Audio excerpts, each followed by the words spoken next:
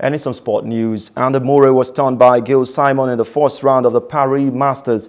The 35-year-old had the upper hand to begin the evening and looked poised for a straightforward victory after taking the opening set. But Frenchman Simon staged a comeback, rallying back from a 5-3 deficit and winning four games in a row to claim the second.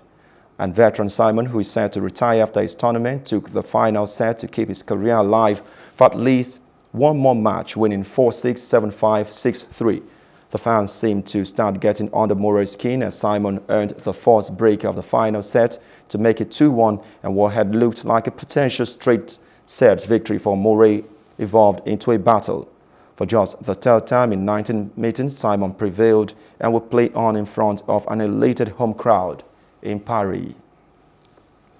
That's the news update. For more stories, please follow us on our Facebook, Twitter and Instagram accounts and do subscribe to our YouTube channel at Plus TV Africa and Plus TV Africa Lifestyle.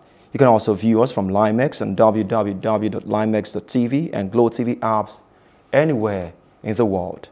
I am Ifeanyi Elumezim. Many thanks for watching.